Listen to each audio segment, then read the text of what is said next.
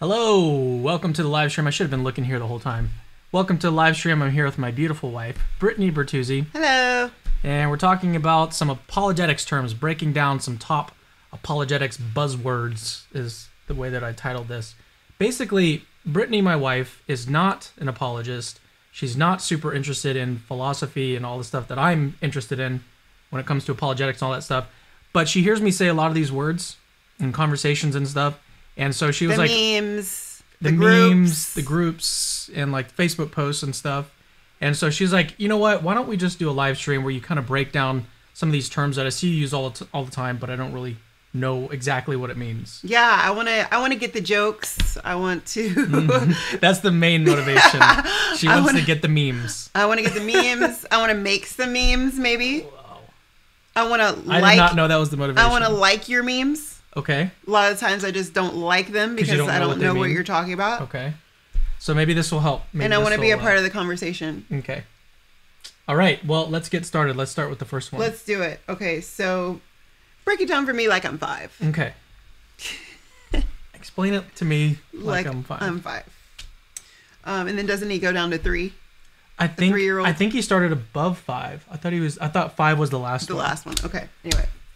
So the first one should I have a little list here. I literally he was talking on the phone the other day. I heard him say one of these words and I was like, "Whoop, I'm adding it to my list." So I So think we have eleven total. so we have 11 and I'm going to I'm just going to jump around on the list to Okay. sort of throw you off cuz you Oh. see my list. okay. So I'm going to start with theodicy. Okay. What does that mean? Is that just a regular word or is that like a, a concept? Odyssey is a very easy idea. It's just a reason that God has for allowing some particular suffering. Oh, Yeah. okay. I don't know what the etymology is. I don't know Uh, why. so yeah, what is etymology? I don't know what that is. etymology See is what I'm like talking about? I don't. etymology is like the study of of words. I don't know if that's right, but it's basically how he, how you got that word.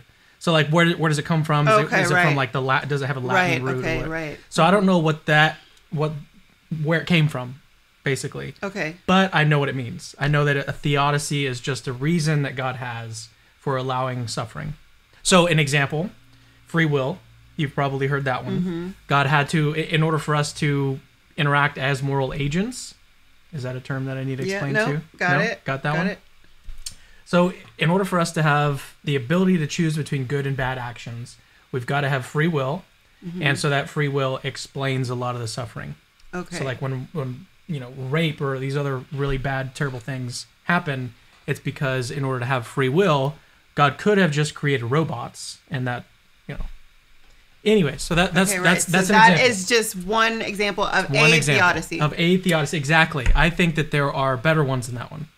okay. Well, we don't have to get into We that. don't, because No. that's not the point. Nope. Nope. No. Okay, Kalam. This is one I see all the time. He has 10 gazillion shirts and hats and mugs about wanting to talk to people about the Kalam. Yep. But I just want you to break it down to me in like basic.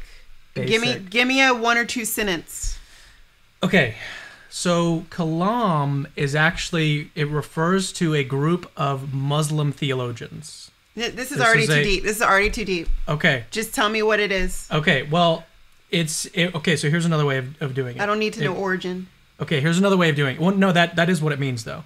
Okay. It refers to this Islamic group of people. Okay. Okay, but usually it's used in the context of a particular argument for God's existence, Okay.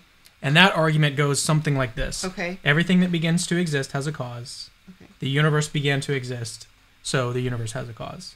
And so that is how the argument is usually understood these days. The Kalam cosmological argument. Okay. So say it again. So, so premise one: everything that begins to exist has a cause. That part's important for Okay. a Kalam. Okay, So there's a starter. Okay. So everything that begins to exist has a because Mm-hmm.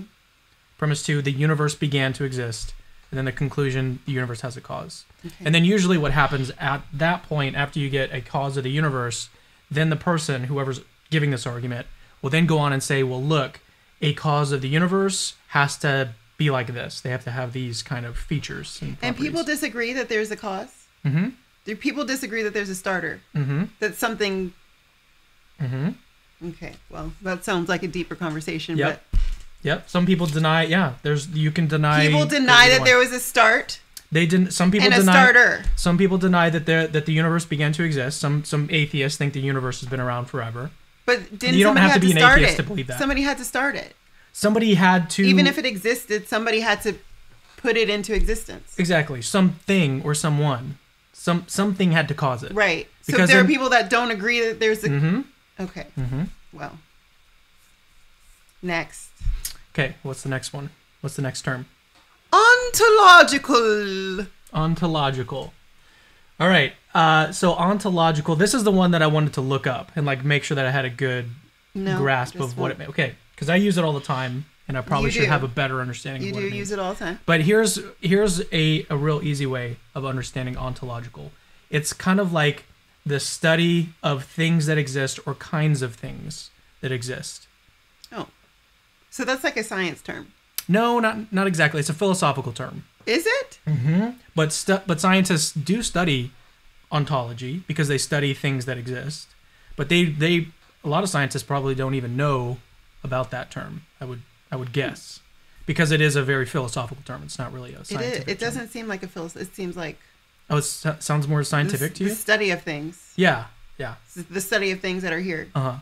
The study of things that exist or types of things that exist.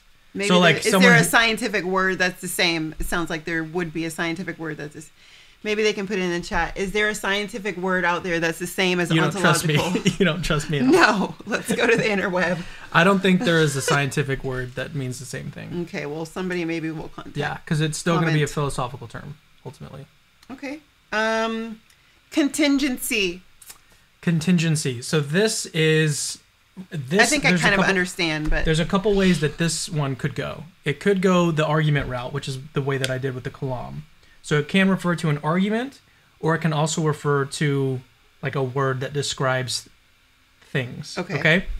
So here's how it describes things. So a thing is contingent if it can fail to exist. Another way to put that is it could be gone. So something is contingent if it could be gone. If if I smashed your phone, could be gone. So that phone is contingent. This computer could smash it, could burn it, whatever. So this is a contingent thing. So anything that can fail to exist or go out of existence or hasn't always been here is contingent. Does that make sense? see, I thought it meant, and maybe it ha- has several meanings, Mhm. but something that it could be- happen or could not happen. For example, it's we could go swimming today, but that's contingent on the weather. mm. Is it going to rain today? Is it going to storm?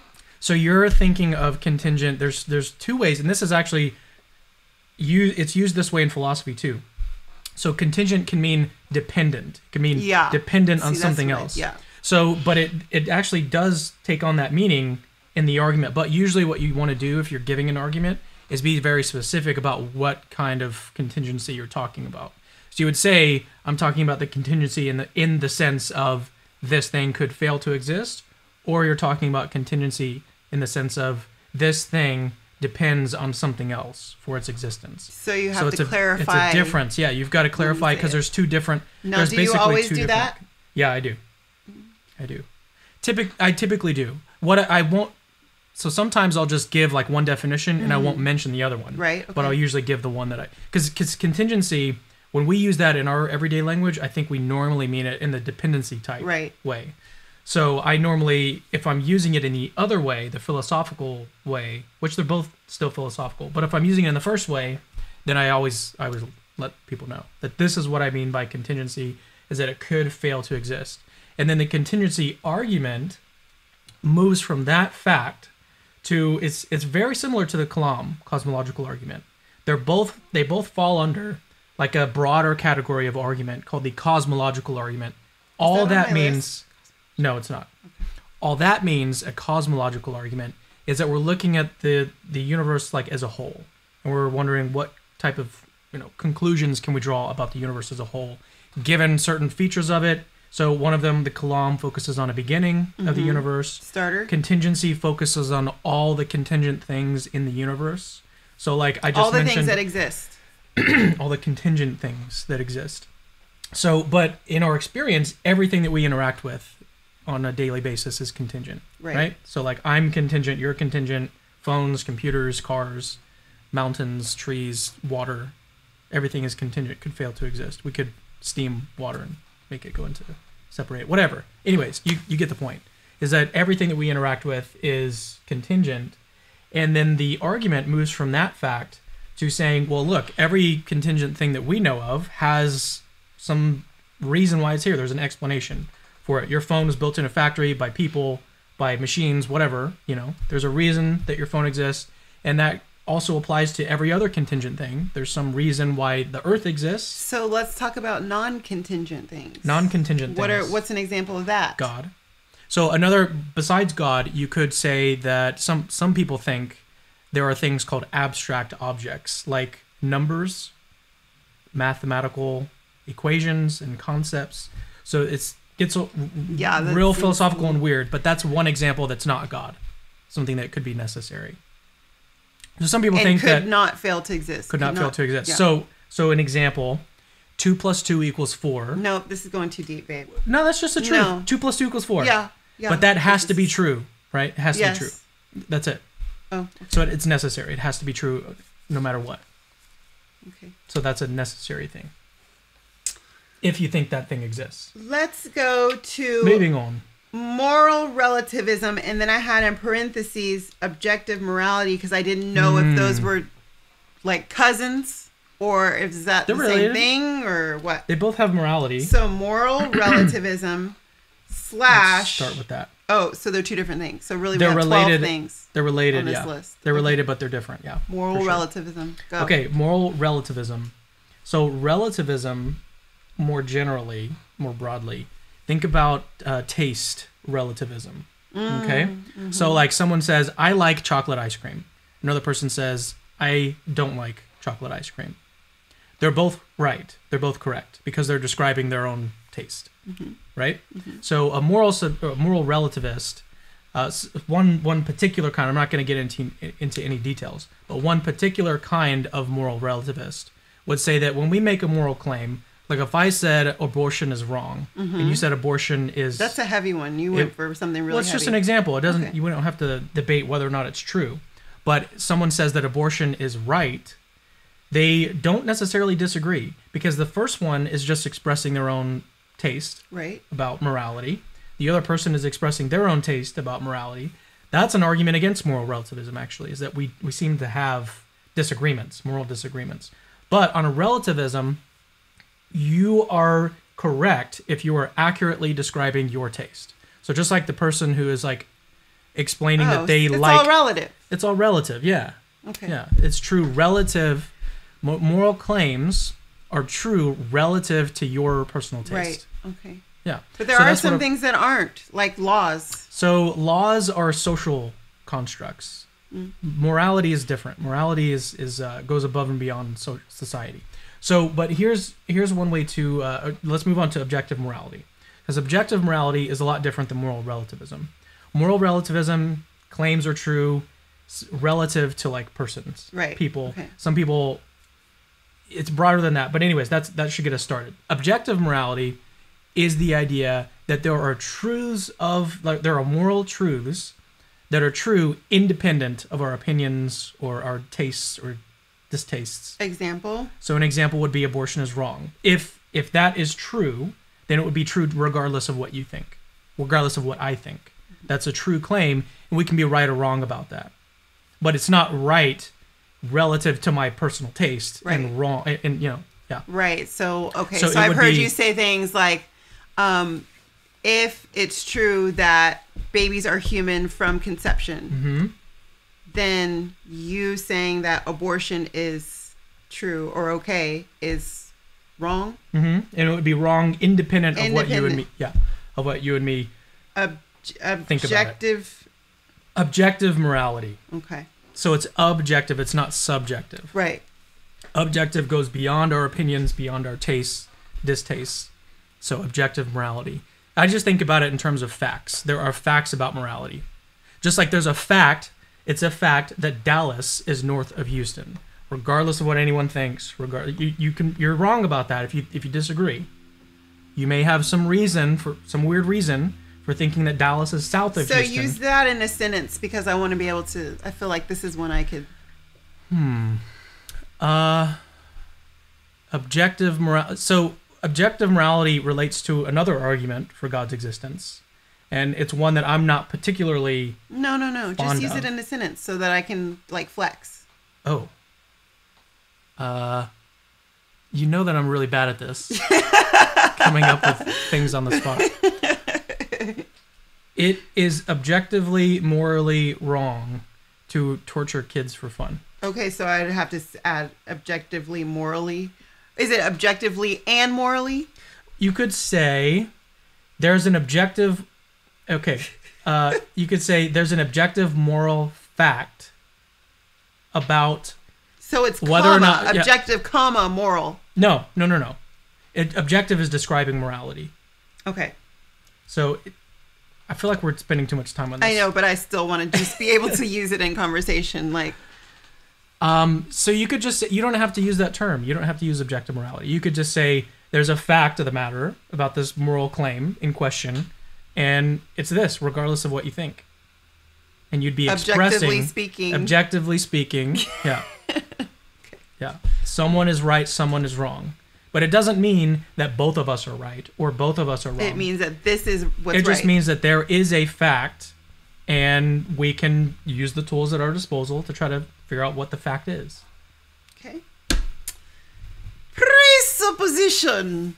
Presupposition. Hmm. So, what was the context of you hearing this term? I don't remember.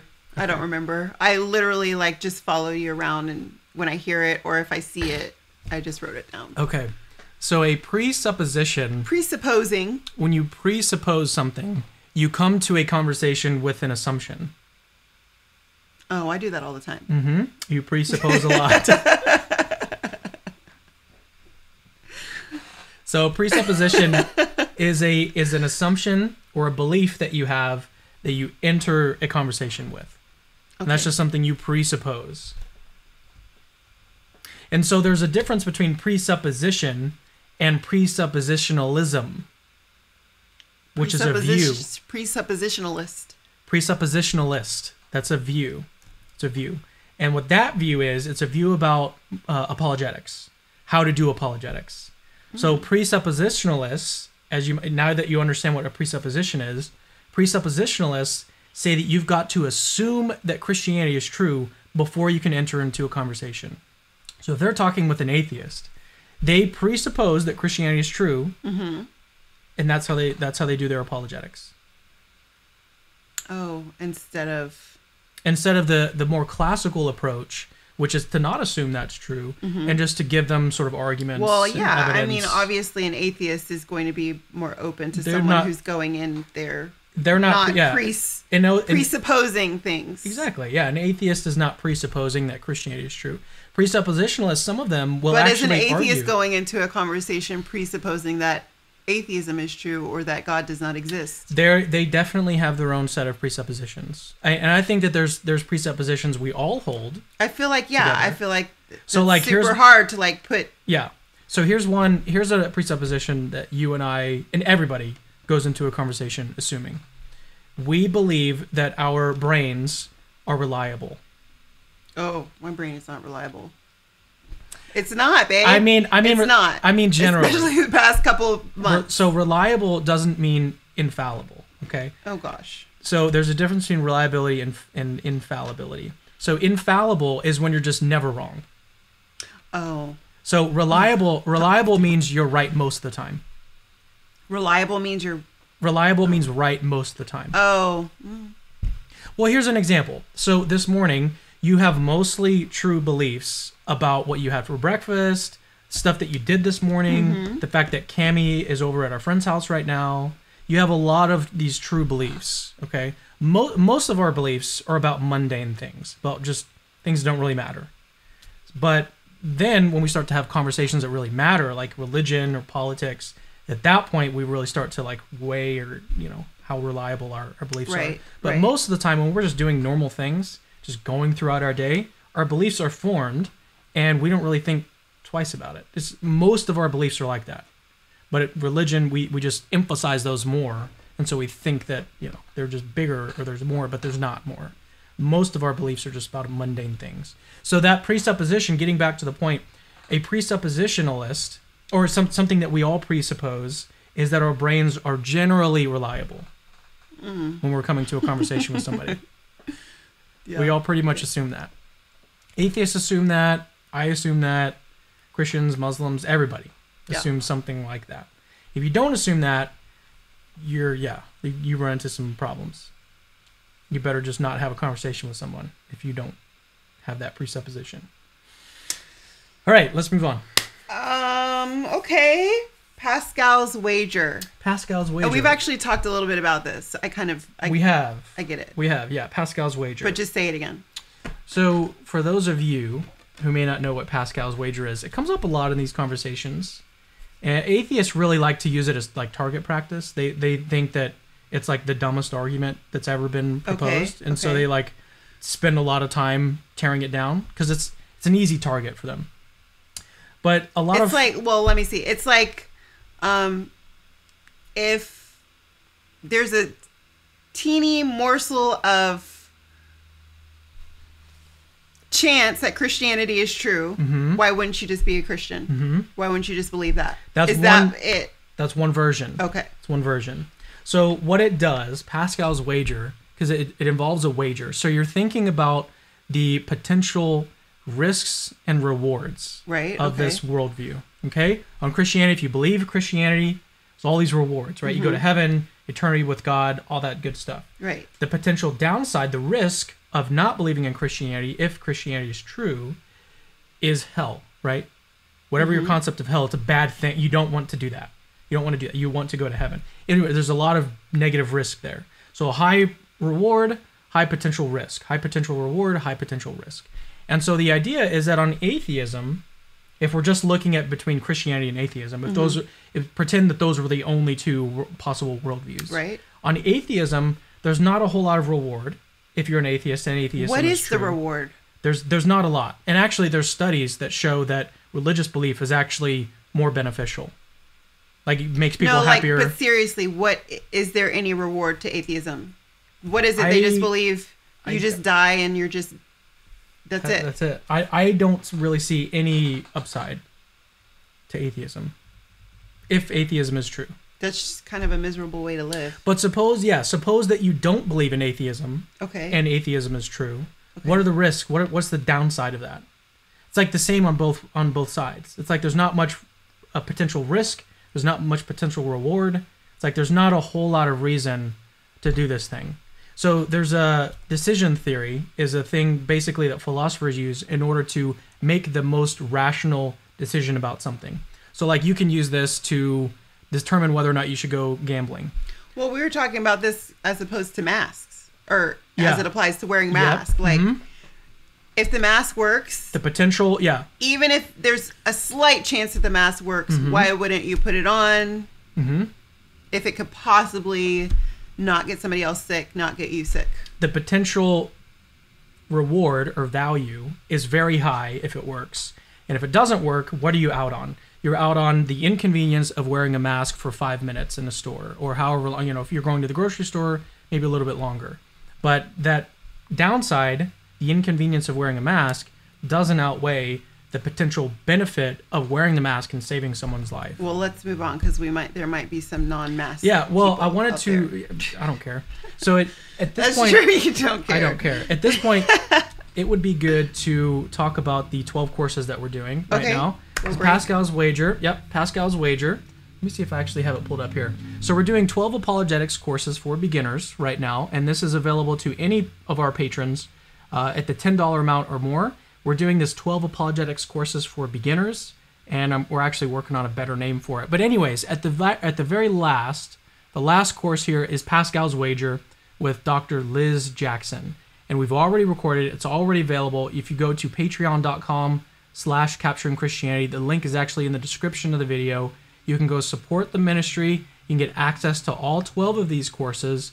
Almost all of them have been recorded. Almost all of them are available right now.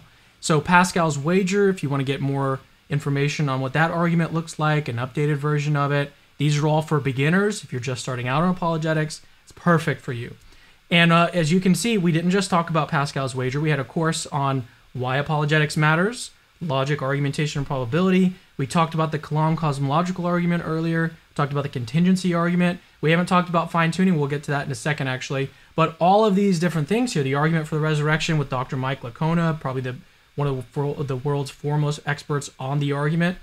We've done all of these things and made them available to you guys. And in uh, in return, you can support this ministry, make sure that we're continuing to grow and continue to do things. Right now, we're working on doing a conference. That's our dog wants to go outside. Uh, we're working on doing a conference right now, our first ever Capturing Christianity conference. And the reason why we're building or raising funds is to actually bring Brittany on board full time to do our event planning and everything.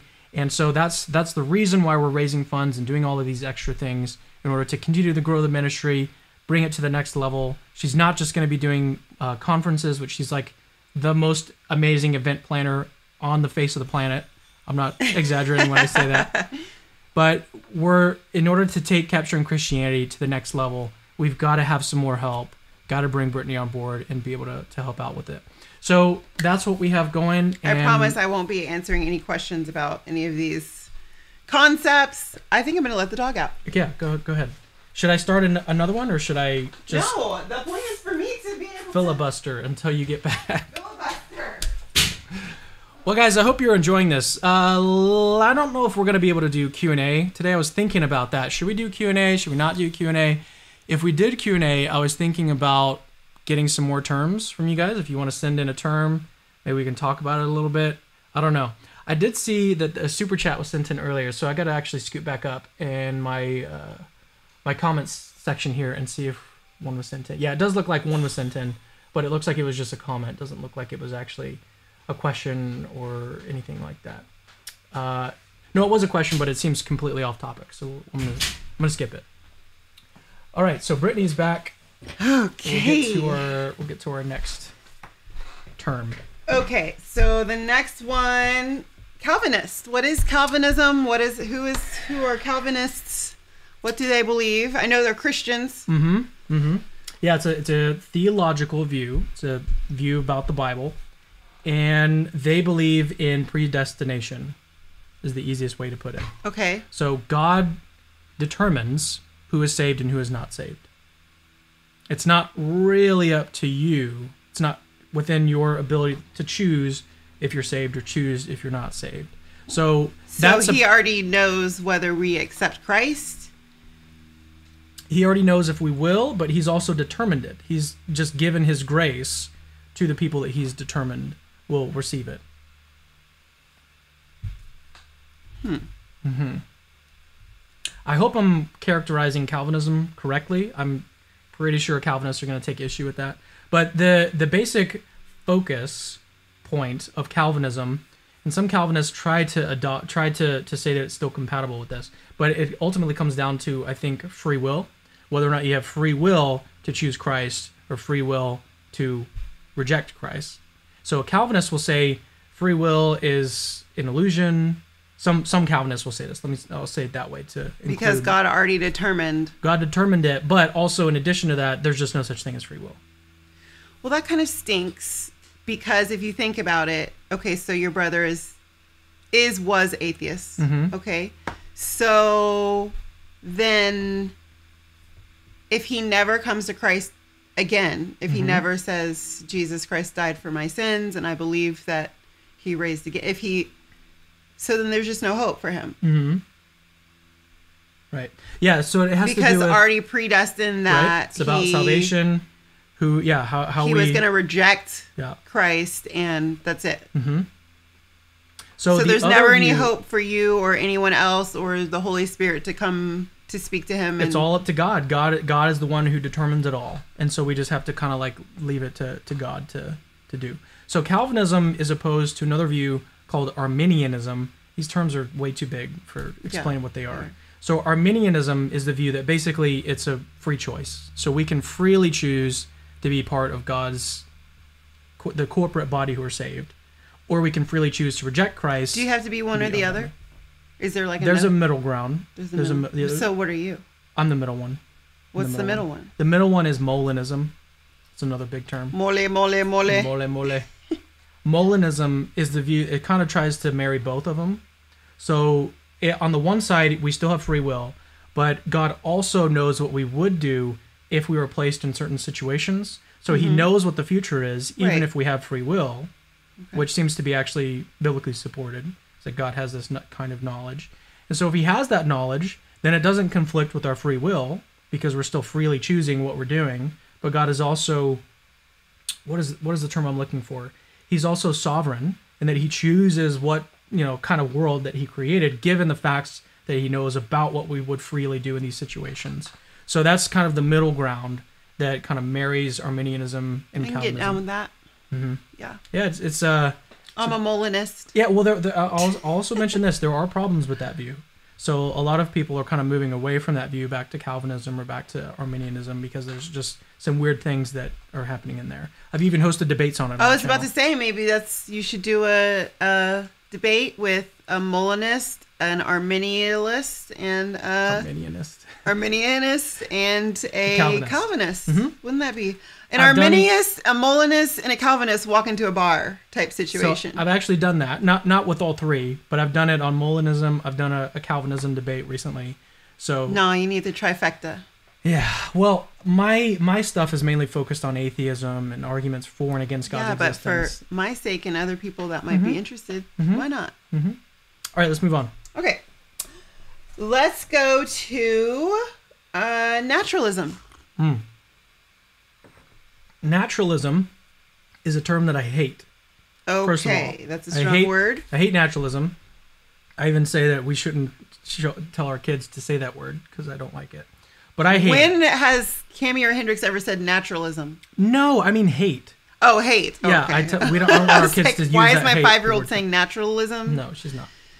Uh, so naturalism, the reason, part of the reason why I don't like it is because it's very difficult to nail down and like get an actual definition of it. So I prefer to use the term atheist, atheism, and just ignore the term naturalism. But it inevitably comes up. it- Are they synonymous? No, they're not. So an atheist just believes that there is no God. Okay, an atheist. Some some atheists will want to define it differently, but that's the easiest way to understand it. An atheist believes there is no God. A naturalist believes there is no God and nothing like God. So that's the part that that's the additional part that they add in. So there's nothing like ghosts. There's no ghosts because that's kind of like God, immaterial. How is a ghost like God? Well, it's, it's immaterial. Okay. So that's it's still personal, but it's not made of physical stuff. So it's kind of like God in one in a couple ways. That's why I don't like it because it's it's very ambiguous. Very it's a very awful term. It's, it's really bad. Anyways, and, and a lot of people don't share my view. A lot of people think that naturalism is a great term to use. It means a whole lot of good things, but I just don't see it. But the they still just don't believe in God. They don't Period. believe in God, Okay. but then yeah, but then they also don't believe in some other things too. Okay. but that's yeah that's basically it so then what's the point of using the term in the first place because you don't know what this person believes or doesn't believe a lot of people who don't believe god exists are still open to demons and astrology and all sorts of weird wacky Mystic. like spiritual yeah, things right. right Mhm. and I've so so yeah so it's just a it's a really unhelpful term i think and a lot of naturalist philosophers or atheist philosophers will even say well, i'm not a naturalist in a conversation you're like trying to pin them down on this argument trying to pin them down on their view. Some people just don't like to be pinned And- down. yeah, babe. and They you're just like- don't like it. But you're like, look, it, your view entails such and such and such, and and that's false. And they'll be like, well, I don't have that view, and so it's just to me, it's just pointless. Like, why even go there? There's no point in starting with with the term. Anyways, that was that was a, a rant. Got a soapbox. Moving on to Moving on. fine tuning. Fine-tuning, Make my- it short because I know that this is your favorite thing. Make it short. I have a great way of explaining this one. Okay, Okay. you ready? Of all the possible way the universe could have been, there's only a small number of ways that it could have been in order to support life. Okay. That's it. So here's an analogy. Here's like Oh, an, boy. Here's an illustration that's going to make it even better and easier. Okay, so like suppose that we had a chunk of metal and a chunk of plastic. Okay, two chunks. So of all the ways that we could combine those two things together, there's only a small number of ways in which they like resemble a car or could be put in the shape of a car, arranged car-wise. Right? Yeah. And so what so the fine tuning argument is kind of like this. So what would happen if we just threw the chunk of metal and chunk of plastic together at random? Like what if we just threw it together in an, in a random arrangement? What would it look like? Probably wouldn't look like a car, right? Very, very, very unlikely it would look like a car. And so the fine tuning argument says, well, what would happen if we threw a universe together at random? Probably wouldn't support life. Probably wouldn't look anything like there had to what we be have. a maker, a designer. a, de- a, desi- a This one, this one is for designers. This one is for. Uh, this is a design argument. It's not a uh, Hmm. banger argument or like a creator argument. It's for a designer. So someone who who had that, like s- someone who creates a car, they design the car, they put this the materials in the shape of a car, and they create the car that way. So that's the fine tuning argument. okay. Is that it? Pretty proud of that one. Good job. I think that's it. Is that 11 slash 12? Uh, Yeah. no. No, we're missing one. Oh, good epistemology. Does what does that shirt say? The Good- shirt said, yeah, good epistemology covers a multitude of sins. Yes, and I think I know.